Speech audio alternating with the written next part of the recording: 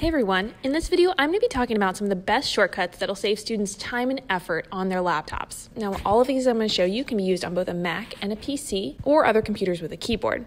These won't work on a tablet or a phone though. But if you're watching with a computer, I encourage you to open up some windows online and follow along and try these for yourselves. Now just for reference, if I say control, usually on a Mac, that's going to mean this command button, which says command and has the command symbol. But for PCs and most other computers, these shortcuts are going to involve the button control. So just try to keep that in mind as we go through the shortcuts. All right, first and foremost, one of the most important shortcuts for students that'll help save you time and effort is going to be control F.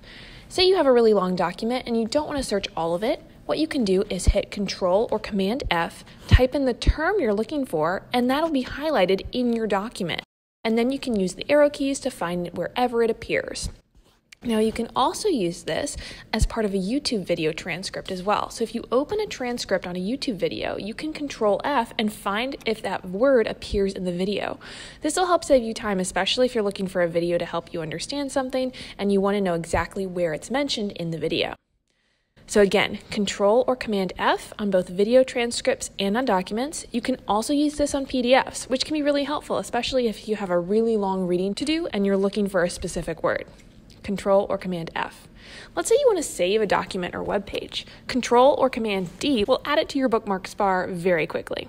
So let's say you have something in a document and it's written in one font, but we want to paste it in this other document. So I'll hit Control C to highlight the text, Control V to paste it, but oh no, it comes up in the font of my old document.